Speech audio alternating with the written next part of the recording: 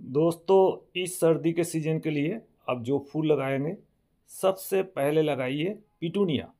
Petunia में बहुत तरह के सुंदर सुंदर फूल आते हैं। दस बारह कलर ऑप्शन में मिलेंगे। इसमें आपको फ्रॉस्ट भी मिलेगा, स्टार भी मिलेंगे। देखिए, ये जो है, ये स्टार वेराइटी है। और ये गमले में भी लगा सकते हैं, हैंगिंग बास्केट में भी लगा सकते हैं, बेड में भी लगा सकते हैं। हम लोगों ने तीनों तीनों तरह से लगाए हैं और एक एक साथ तीस चालीस फूल खिलता है। और पीटूनिया के मेरे काफ़ी सारे वीडियो देखते हैं, देख सकते हैं आप। यहाँ पर देखिए सिंगल कलर में क्या शानदार लुक एक छोटे से गमले में देखिए, एक साथ कितने सारे फूल खिलते हैं। तो पीटूनिया बीज से लगाते हैं। आप ज़रूर से अच्छे क्वालिटी का, अच्छे ब्रांडेड के बीज से लगा सकते हैं या फिर पौधे खरीद के आप लगा सकते हैं। और ये देखिए पिटूनिया का मिक्सचर मतलब कि एक साथ तरह तरह के जो पिटूनिया की वैरायटी है, एक साथ आप बेड में अगर लगा देंगे तो बहुत शानदार दिखेगा। और हर दिन बीस तीस चालीस आपका फूल, हर दिन नया नया फूल खिलता रहेगा। बहुत शानदार। सेकेंड है ये फ्रेंच मेरी गोल्ड देख रहे हैं आप। और ये देखिए इनका इनका में भी आपको दो तीन कलर में मिल जाएँगे। ऑरेंज में मिल जाएँगे येलो में मिल जाएँगे वाइट में भी मिल जाएँगे। और ये जो है, ये वैरायटी है ड्रैगन कहते हैं इसका या फिर माया कहते हैं। यह आगे का है। आगे का फूल कैसा होता है, बहुत लोगों ने मुझे पूछा है। देखिए, मेरे बेड में लगाया हुआ है। ये बॉर्डर के हिसाब से लगाया हुआ है। तो आगे का जो है माया वेराइटी या फिर ड्रैगन, मेरीगोल्ड कहते हैं इसको तो ये भी आप लगा सकते हैं। इसका हाइट करीब ज़्यादा होता है, करीब दो फुट हाइट होता है ये पौधा। इनका का पौधा एक फुट का हाइट का होता है और ये जो होता है ये करीब दो फुट होता है। इसका फूल भी काफ़ी दिन ज़्यादा टिकता है। अब जो दिखाता हूँ ये इम्पेशेंस, ये बेड के लिए बहुत अच्छा है या फिर गमले के लिए बहुत शानदार फूल है। इम्पेशेंस आप ज़रूर लगाइए। आप बीज से भी लगा सकते हैं या फिर छोटे छोटे पौधे नर्सरी में मिलते हैं, ये आप ले आइए। एक पौधे में देखिए, एक साथ पचास फूल एकदम देखिए रेडी और तरह तरह के कलर में आते हैं। हर कलर का दिखाता हूँ मैं आपको। और ये फूल जो है, बहुत शानदार दिखता है इसका देखिए बेड भी अगर बनाएँगे, मेरा ये बेड बनाया हुआ है और क्या शानदार लुक है। और पूरा देखिए कलर एकदम भर जाएगा पूरा बागान। तो आप इम्पेशेंस ज़रूर लगाइए। आप छोटे छोटे गमले में भी इम्पेशेंस लगा सकते हैं। काफ़ी दिनों तक ये फूल देता रहता है। तो इम्पेशेंस आप बागान में ज़रूर लगाइए। जो अब मैं दिखा रहा हूँ, यह है गुलदाउदी। गुलदाउदी तो आपके बागान में ज़रूर होना चाहिए, ये कटिंग से लगता है। कटिंग आप कोई भी नर्सरी से ख़रीद के ले आइए और ये गुलदाउदी लगाइए।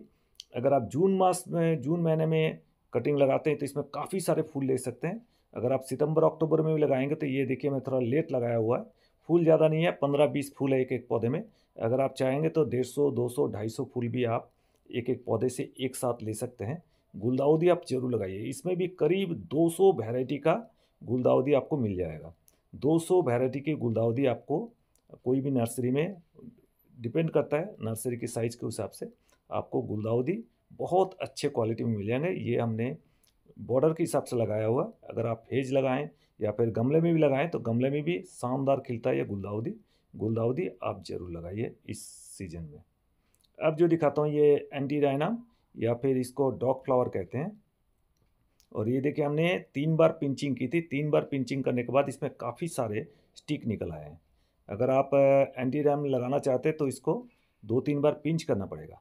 उससे क्या होता है कि आपका ब्रांचेस स्टिक काफ़ी ज़्यादा निकलती है। इसका भी फूल काफ़ी दिन खिला रहता है। ये भी शानदार लुक देता है। अगर आप बेड में लगाएँ, बहुत शानदार लुक देता है या फिर आप गमले में, पॉट में भी लगा सकते हैं।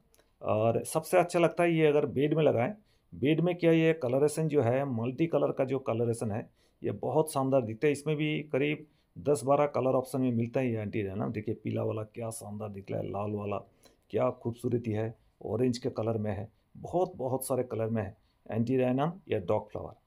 इसको अगर पिंच करेंगे तब इतने सारे स्टिक आएगी, नहीं तो एक दो स्टिक ही निकलती है। अब जो दिखाता हूँ सीनेरेरिया ये सबसे खूबसूरत फूल है। इसमें बहुत सारे मधुमक्खी आती है, भरती जाती है, एकदम पूरी मधुमक्खियाँ। और ये भी बहुत शानदार, अगर गमले में लगाना चाहते हैं तो ये भी लगा सकते हैं। धूप आपको कम आती है तो आप सीनेरिया लगा सकते हैं। ये कमती धूप में भी काफ़ी अच्छा खिल जाता है। तो यानी कि आपके बगान में अगर धूप कम आती हो तो आप सीनेरिया लगा सकते हैं। ये बहुत शानदार फूल है। और देखने में गुलदाउदी टाइप का दिखता है, लेकिन गुलदाउदी से काफ़ी खूबसूरत है ये फूल। तो आप सीनेरिया लगाएँ ज़रूर। अब जो मैं आपको दिखाता हूँ, ये है एस्टर। एस्टर की ये बैनरी का बीज है, बेनारी जर्मनी का बीज है। एस्टर का बहुत तरह के फूल होते हैं, इसमें जो सबसे ज़्यादा टिकाऊ फूल होते हैं वो बेनारी का फूल होता है। इसलिए मैंने बेनारी वाला दिखाया, ये हमारे बेड के हिसाब लगाया हुआ, हमारे बागान में ये बेड है। मतलब एक एक फूलों का एक एक बेड बनाया हमने बागान में। इस तरह से मैं आपको अभी जो दिखा रहा हूँ, ये है एस्टर के बेड और इसमें भी देखिए कितने सारे कलर ऑप्शंस हैं।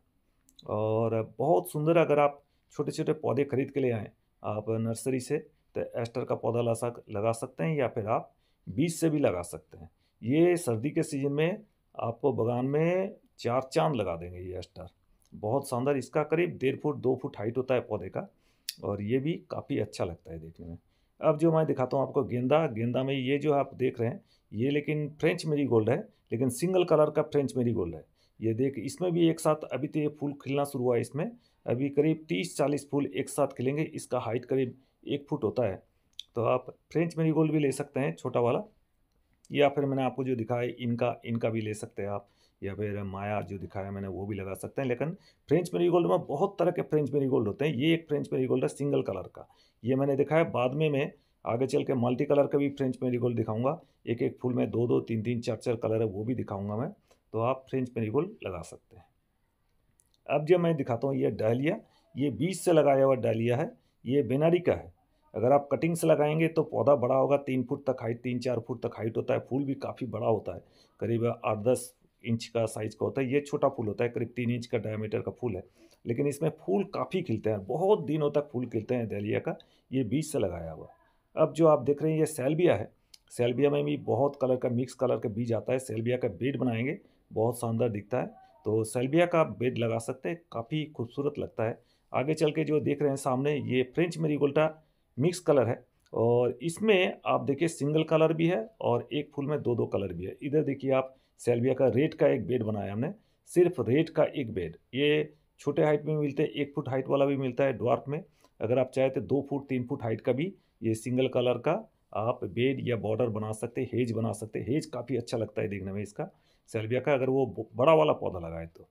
और ये देखिए फ्रेंच मेरीगोल्ड में एक एक फूल में दो दो तीन तीन कलर, मिक्स कलर में जो फ्रेंच मेरीगोल्ड मिलता है, वो है। तो ये आप ले सकते हैं। पैन अमेरिकन सीड्स ले सकते हैं। सबसे अच्छा रहता है फ्रेंच मेरीगोल्ड में। पैन अमेरिकन का सीड सही है। पैन अमेरिकन का बीज से लगाया हुआ फ्रेंच मेरीगोल्ड का बेड है। बहुत शानदार दिखता है फ्रेंच मेरीगोल्ड गमले में भी लगा सकते हैं। काफ़ी अच्छा होता है। और सामने आप देख सकते हैं, ये सेल्बिया का बेड है। इस तरह से हमने बेड सजा कर रखते हैं और ये सेलोसिया है सामने। सेलोसिया का बेड हमने थोड़ा ठीक से नहीं लगाया और पीछे जो देख रहे हैं आप, ये है कॉस्मोस कॉस्मोस ये सर्दी के सीज़न का देखिए, पत्ते कितने शानदार, फूल भी उतने शानदार, काफ़ी फूल खिलते हैं। तो इस तरह से आप सर्दियों में आप पौधे लगा सकते हैं।